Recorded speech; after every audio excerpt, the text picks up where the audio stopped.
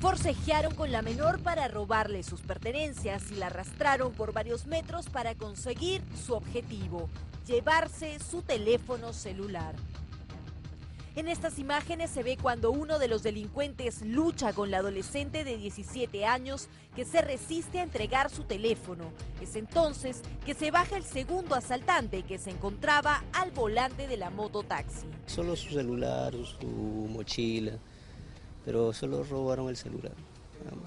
Hemos visto en la toma que la arrastran un poco, la han golpeado. Ah, sí, sí se golpeó la pierna, algunas cositas cuando le arrastran. ¿no? no quiso desprenderse de su celular. primero bajó uno. Entonces, como la niña se defendió, trató de no este, de que no le robaran, bajó el conductor de esa mototaxi. Y ya entre los dos le robaron y la chica se prendió de la moto y al final la arrastró hasta la altura de, de la iglesia. Los vecinos de la urbanización Santa Marina escucharon los gritos desesperados de la menor, pero los asaltantes ya se habían dado a la fuga.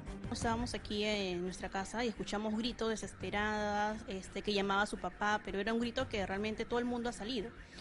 Eh, y se vio que justamente la mo- una mototaxi estaba jalando a la- una niña, eh, jalándola, robándole sus pertenencias. La urbanización Santa Marina parece ser tierra de nadie. Los vecinos aseguran que los asaltos se encuentran a la orden del día, ocurren a toda hora y la mayor parte de ellos son cometidos en mototaxi.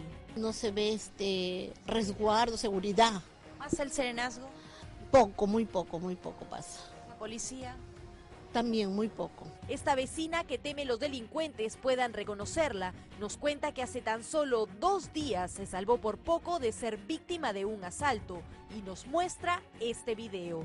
Habían dos personas justamente al frente queriendo intersectarme, queriendo acercarse a mí.